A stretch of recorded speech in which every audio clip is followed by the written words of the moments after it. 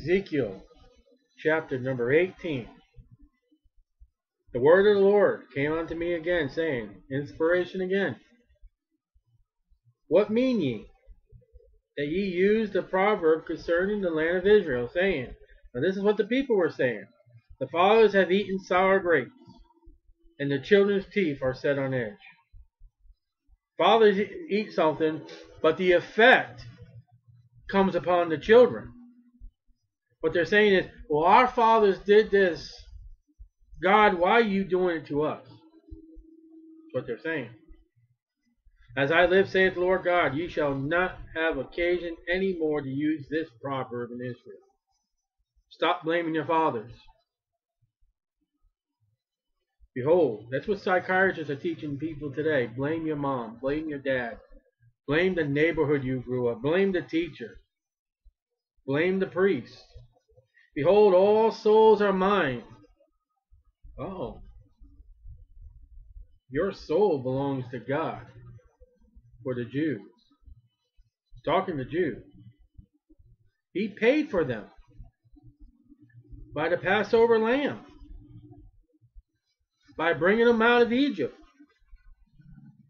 Those Jewish people are his by payment. Especially much more payment when he came as Lord Jesus Christ and died for them. Acts 20:28. God's blood paid the price. As the soul of the Father, so also the soul of the Son is mine. Both of you are mine. The soul that sinneth, it shall die. You know, God just told without going any further in this chapter, stop blaming your fathers you got your problems. Your fathers had problems. You got problems. You know what the problem's called? It's not called this in psychiatry. It's called sin. Don't call it grapes. Call it sin. For all have sinned, come to short glory of God. All right. Number one, individual. But if a man be just and do that which is lawful and right, and has not eaten upon the mountains. What's wrong with eating on the mountains? If, if I gathered my family, we put to the mountains, had a dinner, would that be anything wrong? No. But would have been the mountains, the high places from Jeremiah 1 all the way to Ezekiel 18. They're going to worship gods. They're going to have a fellowship dinner before the gods. Oh, sorry neither has lifted up his eyes to the idols of the house of Israel. There's that idol idolatry again. Neither has he defiled his neighbor's wife, adultery. That's the tenth commandment. Neither has come near a menstruous woman. That was a violation of the law. She was to be separated during her time. Now notice verses 6 and 7, 8. They're all based upon works. This is not New Testament salvation. These works for a New Testament Christian would be a character, not salvation. You would be a fine Christian if you did not go to another woman that wasn't yours. You would be a respectable man. But it wouldn't be, you know, why would I allow you to uh, enter my gates in 2015? Oh, I didn't commit adultery. So what? And he and has not oppressed any, but has restored to the debtor his pledge, something a man has given, collateral, has spoiled none by violence, has given his bread to the hungry, and has covered the, na the naked with a garment. All works. He that has not given forth upon usury, and in the law usury was to a Jew to a Jew, he was allowed to charge Gentiles, but not other Jews. Neither had taken any increase, that would be uh, penalties, a reverse interest, that has withdrawn his hand from iniquity has executed true judgments between man and man, has walked in my statutes, and has kept my judgments to deal truly. He is just in the Old Testament. He shall surely live, saith the Lord God. That would have been Job. That would have been the rich young ruler. Can you do all those things as today? The Bible only mentions two men that ever really did it all. Number two guy.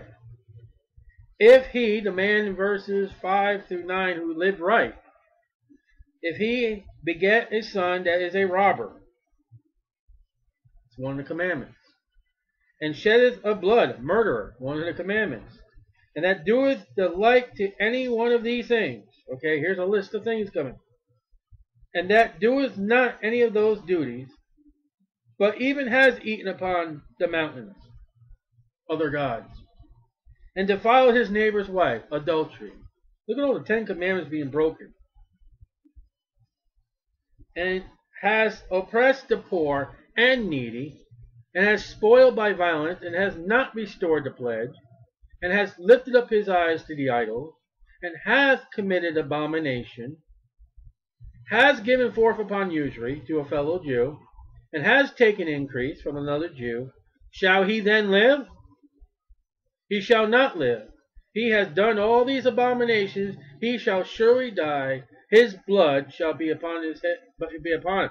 Now, a lot of these laws right here that he has broken by the law, he was to be stoned. He was to receive capital punishment.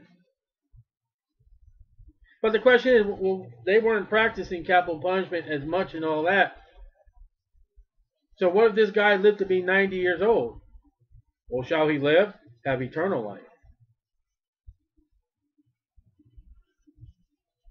When this guy dies, he's not going to die in pleasure.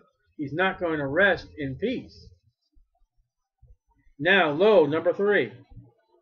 If he begat a son, that seeth all his father's sins, which he hath done. Now this guy who has done wrong begats a son, and considereth and doeth not such like. He looks at his father and says, you know what? I am not. You know what this story of chapter 18 is? This is the story of the kings of Israel. You get a wicked king, then you get a son that did right. Then his son would come up and do wrong. And you get a couple wrong kings. You get a king that did right. And yet they had a foundation of the kinghood. Saul who did wrong and David who did right. Uh, all his father's sins which he had done and considereth and doeth not such alike. He, he does right. That has not eaten upon the mountains, neither has lifted up his eyes to the idols, the house of Israel, which not defiled his neighbor's wife. He's doing right by works. Neither has oppressed any, has not withholden the pledge, neither has spoiled by violence, but has given his bread to the hungry, and has covered the naked with his. He's doing what his grandfather did. You want to say the fathers have eaten it? What about your grandpa? He did right. You didn't go far as grandpa. You're just using your father because he was a wicked example. What about grandpa? He did right. It has taken off the hand. Uh, has taken off his hand for the poor that has not received usury nor increase, has executed my judgments, has walked in my statutes, he shall not die for the iniquity of his father, he shall surely live. As for his father, verses 10 through 13, because he cruelly oppressed, spoiled his brother by violence, and did that brother Jew, that did which is not good among his people, the Jews, lo, even he shall die in his iniquity. Yet say ye, Why? Does not the son bear the iniquity for the father? It goes back to fathers have eaten the sour grapes, and the children's teeth are set on edge. Why can't I blame grandpa? Why can't I blame dad? Why can't I blame my mom? Why can't I blame Adam? When the son has done that which is lawful and right, and has kept all my statutes, has done them, he shall surely live. The soul that sinneth, it shall die. Even in the time of Abraham's bosom, it says that the angels carried Lazarus off into Abraham's bosom. In the New Testament, it says, absent from the body. We just close our eyes and we open our eyes. For them would be Abraham's bosom. To us, we're with the Lord. We really never die. The flesh dies, but not us. The soul that sinneth, it shall die. The son shall not bear the iniquity of the father, neither shall the father bear the iniquity of the son. The righteousness of the righteous shall be upon him, and the wickedness of the wicked shall be upon him. Whatever my dad has done for sins will not be charged to me. I will not have to face my dad's sins but I'll have to bear my own sins. Now, well, we won't. We'll just. This is salvation we're talking about. We can go in further, but we won't go there. A man will burn in hell for his own sins, not what your parents, your grandparents, or Adam or Eve did. Because you are a sinner. What do you do with those sins will depend on your internal being. I have put my sins on the blood of the Lord Jesus Christ. I am saved. Someone who does not put their sins upon the Lord Jesus Christ today, they are not saved. Their sins will be upon them at the judgment. But if the wicked shall turn from all his sins, here's a guy who's already wicked. No matter where he started, that he has committed, and keep all my statutes, works, and do that which is lawful and right, works, he shall surely live, he shall not die. Go right off to Abraham's bosom. There is a chance in the Old Testament salvation if you are wrong, you could get right with God, except for murder and except for uh, adultery.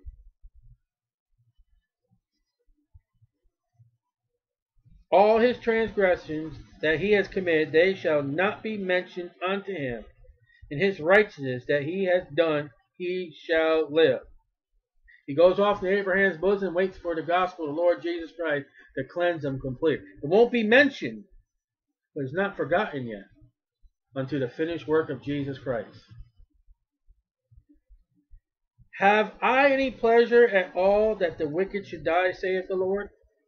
God, does God really love killing people and send them to hell. And not that he should return from his ways and live. That's repentance right there. God wants you to repent and get right. He does not want you to die and be judged for hell. But when the righteousness turneth away from his righteousness and committeth iniquity, Old Testament, and doeth according to all the abominations that the wicked man doeth, shall he live? All his righteousness that he has done shall not be mentioned. In his trespass that he has trespassed, in his sin that he has sinned, in them shall he die. That's Old Testament. Christ has not died on the cross. And if you die in your sins, the Old Testament, you die in your sins and face judgment of God and you really don't know. Because there were three times a year that the males were supposed to come. What did you what did you do when you sinned when you didn't bring an offering? It's all your heart condition. But in Old Testament did not have assurance of salvation. In the Old Testament, you could lose your salvation. So once you think uh, religions would run to Ezekiel 18, 24, to say, aha, look, you can lose it. Yet, ye say, the way the Lord is not equal. Imagine him saying that. Hear now, O house of Israel, is not my way equal? Are not your ways unequal? When a righteous man turneth away from his righteousness and committeth iniquity, and dieth in them, for his iniquity that has done shall he die. You die in the state that you are in. Again, when a wicked man turneth away from his wickedness that he has committed, repentance, and doeth that which is right, I mean lawful and right, he shall save his soul alive. I didn't save my soul. Jesus Christ saved my soul. See the difference? For by, by for by oh boy, Ephesians 2, 8 and 9. For by grace are ye saved the faith, not of yourself, lest any man should boast. We are saved by Jesus Christ. The Old Testament, he was saved by what he did, what God prescribed by the law, a doing. But he was still, like I say and keep saying, they didn't go to heaven when they died. They went to Abraham's bosom. They were they left Abraham's bosom after the finished work of Jesus Christ. I am saved by Jesus Christ and nothing and no one and not me. Because he considereth and turns away from his transgressions. Mark that down as a definition of repentance. That he has committed. He shall surely live, he shall not die. That is the definition. You consider who you are. And a salvation without repentance, a salvation of no considereth, a salvation of no turning away, no salvation of not realizing what you've committed is no salvation at all, even in the Old Testament. The Old Testament salvation and the salvation of the Lord Jesus Christ, rest assured you better consider who you are, you better acknowledge who you are, and it better be that you know you have done it, not mom, not dad, as this chapter started off. You can't walk up to God and say, okay, God, I'm sorry for the sins that my mom made me do. You're not saved.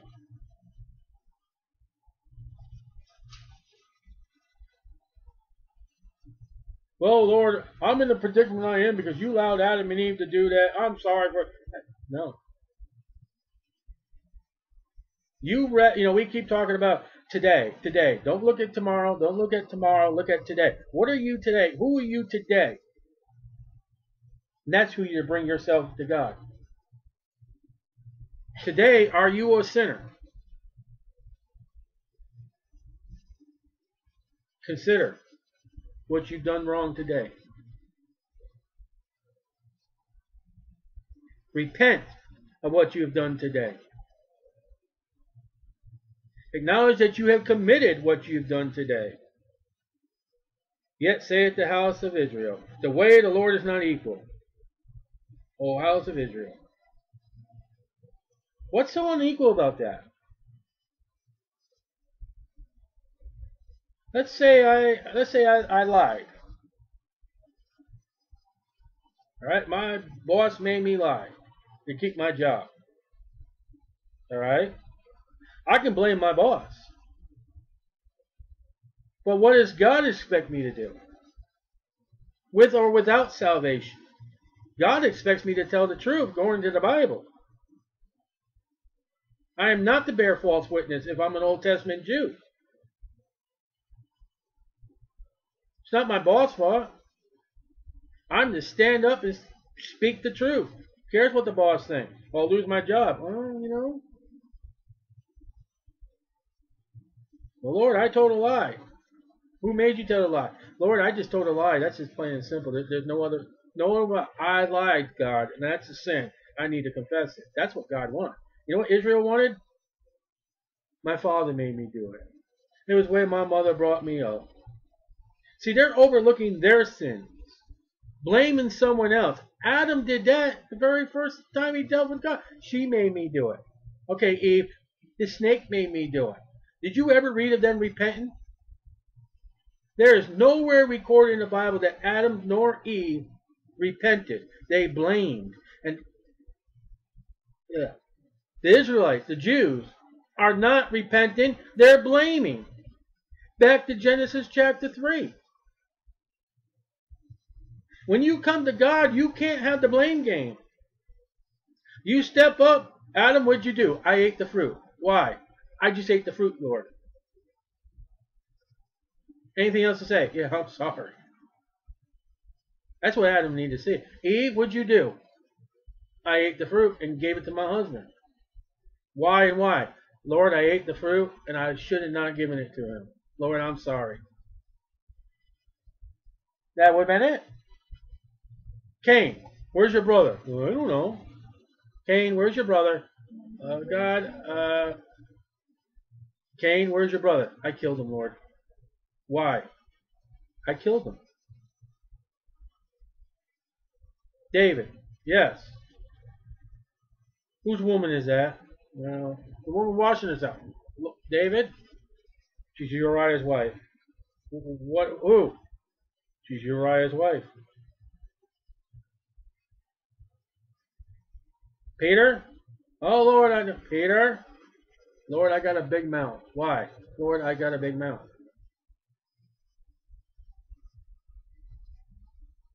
Why can't we do that? Stiley? Yeah, Lord. What? That guy is taking too long at the red light. Uh? Lord, I'm impatient. Why? I'm impatient. Why can't we do that? And we blame the guy in front of us because he's not moving quick enough. We blame the person in the checkout line because they're not fast enough. We blame the person because they didn't do their job. We blame the person because of what?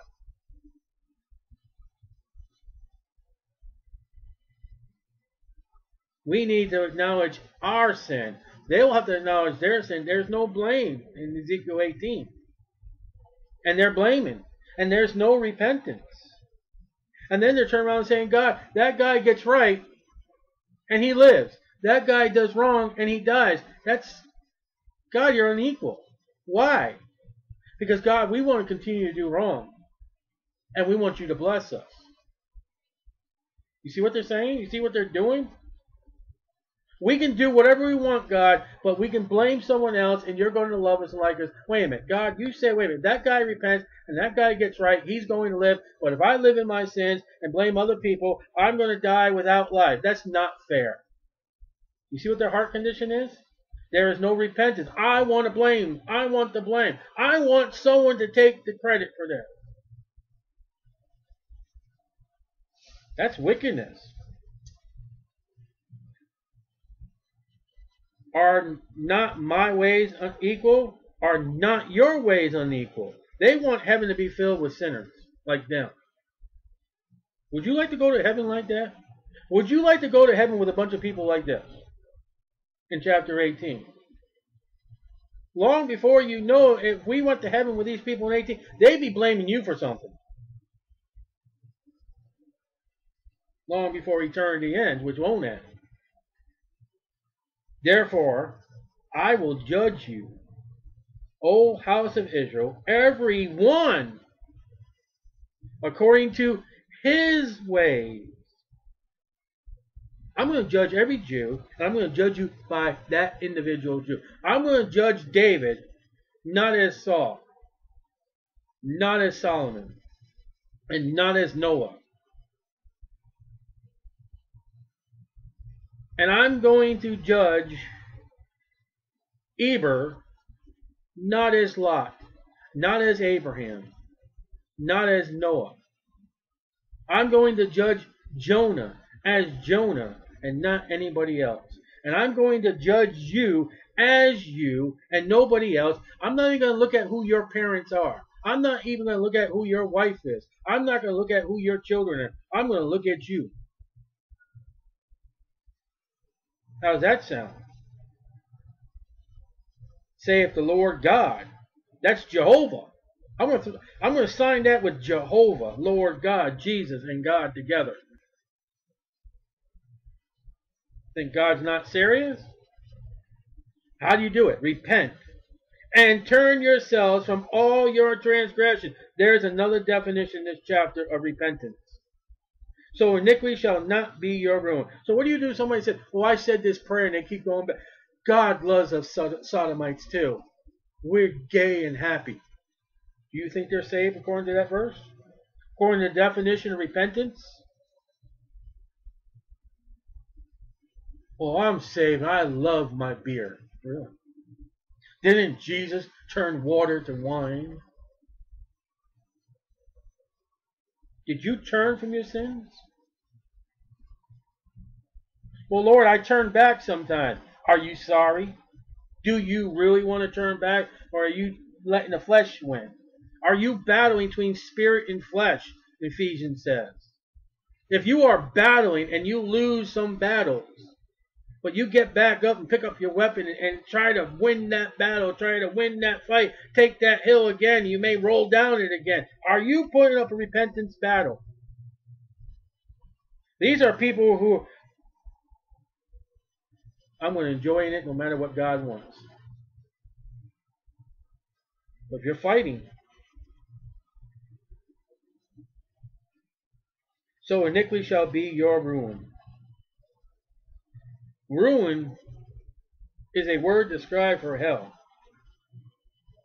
How you describe it? There's many words. How about ruin?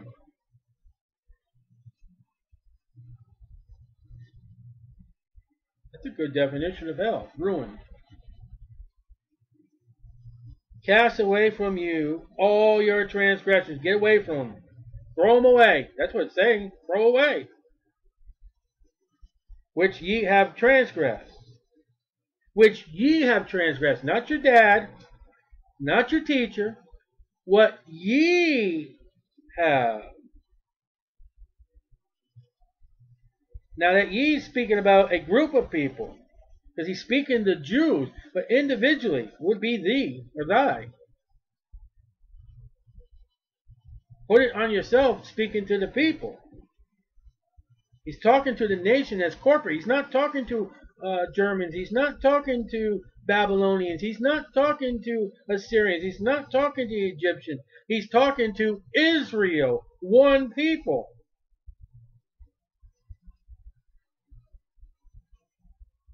and make ye a new heart, and make you a new heart, and a new spirit, new life, new spirit, new creature. For why will ye die, O house of Israel? Now, as far as your question, have I any desire at all that the wicked should die?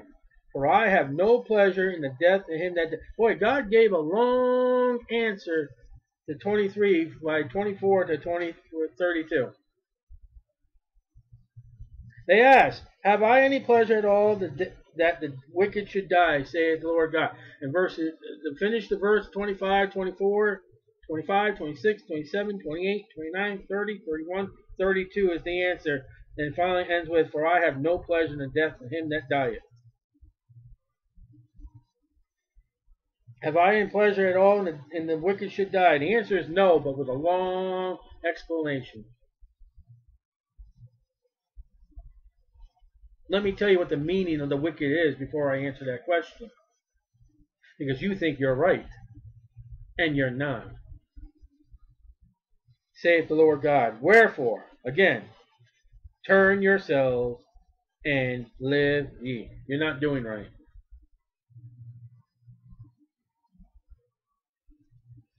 You're not doing right. We see in this chapter blame and repentance.